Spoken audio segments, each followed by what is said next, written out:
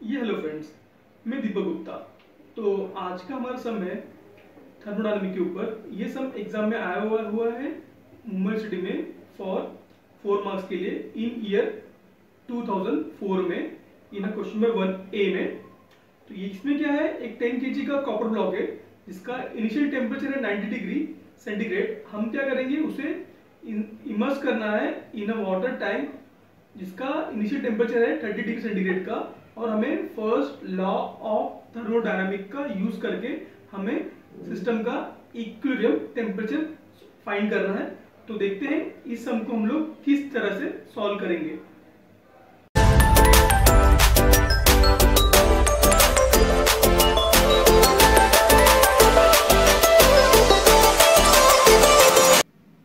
देखिए सब में क्या दिया हुआ है? 10 K G copper block specific heat 0.4 four kilo joule per K G at ninety degree centigrade is immerge into one insulated tank containing point three five metre cube water at thirty degree centigrade applying first law thermodynamic calculate the equilibrium temperature ये सब आया हुआ है exam में, मैं two thousand four में question number one A for four marks के लिए। ठीक है तो सबसे पहले हम लिखेंगे यहाँ पे इसका गिवन डेटा कि यहाँ पे गिवन में मुझे क्या क्या दिया हुआ है ओके तो देखिए given data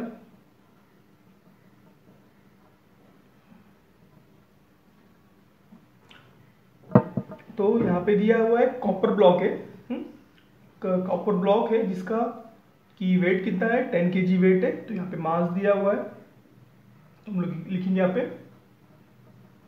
mass of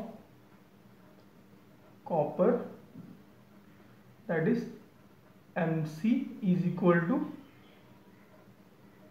ten K G M C is equal to ten K G then उसके बाद उसका स्पेसिफिक हीट दिया हुआ है कॉपर का then called C P C हम लोग उसको बोलेंगे C P C specific heat of copper that is point four kilo joule per K G kelvin eight 90 degree उसका जो टेम्परेचर दिया है initial temperature of copper okay we can see T initial temperature I C for copper TIC is equal to 90 degree centigrade, is immersed into a insulated tank containing 0.3 metre cube water at 30 degree कहाँ पे कर रहे हैं insert इसको? एक insulate tank में insert कर रहे हैं, जहाँ पे कि वॉल्यूम दिया है वाटर का, क्या इसमें वाटर है?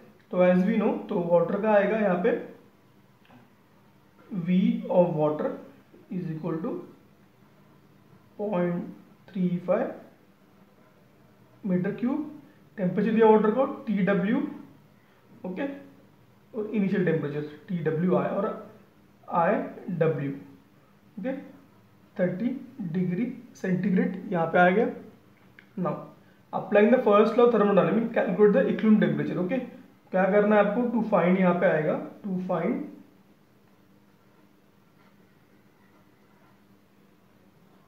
टू फाइंड में आएगा आपको। Calculate the initial temperature sorry equilibrium temperature को फाइंड करना है। Equilibrium temperature you have to find now तो देखिए, यहाँ पे फ़र्स्ट लॉ अप्लाई करने से पहले हमें इसका कुछ कंसेप्ट चाहिए कि हमें किस तरह से हम सॉल्व करेंगे? तो यहाँ पे देखिए, यहाँ पे मैं लिखता हूँ यहाँ पे कंसेप्ट ओके इसका कंसेप्ट क्या होगा करके यहाँ पे?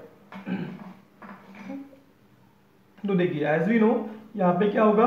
एक लंप है, इसका वेट 10 के है, जो कि है किसका? कॉपर का सीयू का। जिसका इनिशियल टेम्परेचर कितना है मेरा? 90 डिग्री सेंटीग्रेड है। ओके इसका स्पेसिफिक दिया हुआ। और मैं क्या कर रहा हूँ, उसको एक टब है ओके एक यहाँ पे वॉल्यूम है, एक बॉक्स है यहाँ पे उसमें वाटर भरा हुआ है ठीक उसमें मैं इसको क्या इंसर्ट करूँगा, जिसका ये वाटर है, ये द वाटर इसका टेम्परेचर है यहाँ पे 30 डिग्री सेंटीग्रेड तो यहाँ पे क्या होगा, जब यहाँ पे इंसर्ट करूँगा क्या होगा? हीट लॉस और हीट गेन होगा। मतलब एनर्जी क्या होगा यहाँ पे? एनर्जी ट्रांसफ़र होगी। तो as per the first law thermodynamic okay as per the first law thermodynamic क्या होगा? Heat loss by copper is equal to heat gain by water okay ये वो कंसेप्ट होगा उसका तो क्या होगा यहाँ पे? हीट गेन ओके मतलब हीट मतलब क्या? क्यू तो होता है एम सी टी क्या होता है? एम सी टी और चेंज हीट होगा M C delta T okay heat loss हो तो M okay normal M M C C P C bracket में मैक्स माइनस मीन क्या आएगा यहाँ पे?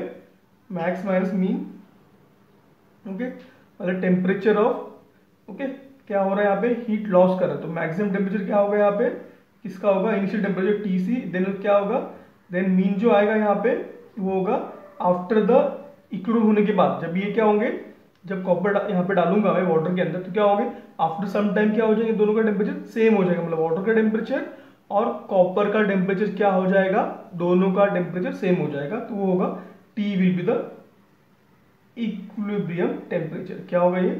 T will be the equilibrium temperature okay similarly is equal to heat gain by the water तो M C C P W okay max max मतलब क्या होगा? कितना होगा? इक्विवेलेंट टेम्परेचर मतलब आफ्टर सम टाइम जो टेम्परेचर आएगा वो minus initial temperature T W I बोलो या टी आई डब्ल्यू ओके ये टेम्परेचर होगा टी आई सी और T I W initial temperature of copper initial temperature of water ये मेरा बेसिक यहाँ पे कंसेप्ट है। इस तरह से मुझे सॉल्व करना है ओके तो आप देखिए यहाँ पे, मुझे मास ऑफ़ कॉपर तो पता है मास ऑफ़ वाटर पता है कि यहाँ पे वो डब्ल्यू है mass of water mass of water नहीं पता है। तो as we know mass of water find करने के लिए हमें क्या लगेगा? हमें पता है एक फॉर्मूला हमें हमें डेंसिटी पता होती है किसकी? वाटर की स्टैंडर्ड डेंसिटी होती है थाउज़ेंड तो देखिए क्या होगा यहाँ पे? As we know rho is equal to mass upon volume होता है। तो डेंसिटी जो है वाटर की मुझे पता है कितनी होती है? थाउज़ेंड स्टैंडर्ड तो मुझे यहाँ से मास ऑफ़ वाटर मिलेगा, मुझे वॉल्यूम पता है यहाँ पे। Point three five metre cube दी हुई है। ठीक इस तरह से मैंने मास ऑफ़ वाटर निकाल दिया। ओके तो देखिए, हमें सी पी डब्ल्यू जो हमें पता होती है स्टैंडर्ड होती है four point one eight six और वन एट सेवन ओके तो ये रहा मेरा ऑल ओवर कंसेप्ट अभी हम सम को क्या करेंगे? सॉल्व करेंगे। तो देखिए, हम लोग सम किस तरह से सॉल्व करते हैं। ओके तो लेट स्टार्ट तो हमें क्या क्या लगेगा? तो सबसे पहले मुझे लगेगा, यहाँ पे लिखूँगा मैं solution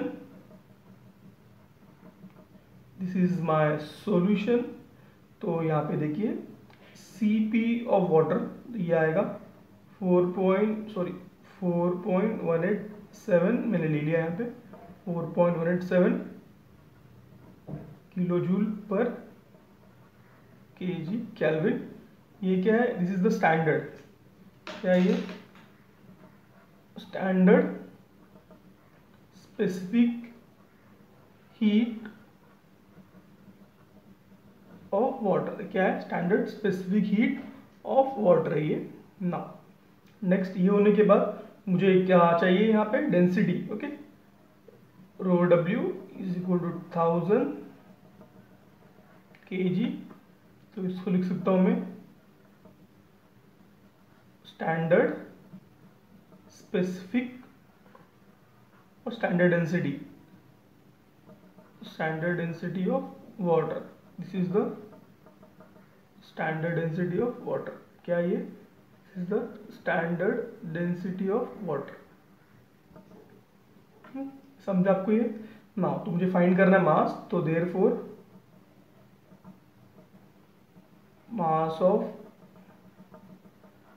वाटर क्या होगा? What is my formula M W निकालना है मुझे तो M W is equal to क्या होगा यहाँ से मुझे पता है। M W equal to rho of water into volume of water okay इसको volume of volume sometime we can use V को क्रॉस कर देंगे समझ आएगा कि ये वॉल्यूम है।